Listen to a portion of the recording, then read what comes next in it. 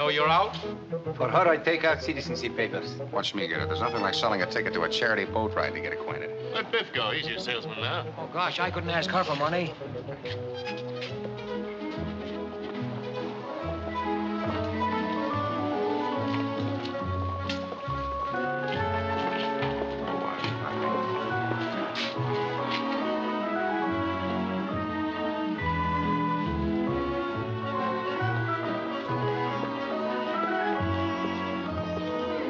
Can you beat that?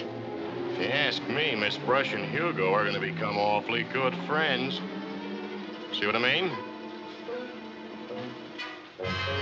You take that back. What for? I'm entitled to my opinion.